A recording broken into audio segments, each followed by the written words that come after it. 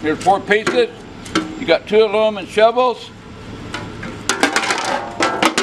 You got a round pointed shovel. And you got a dolly.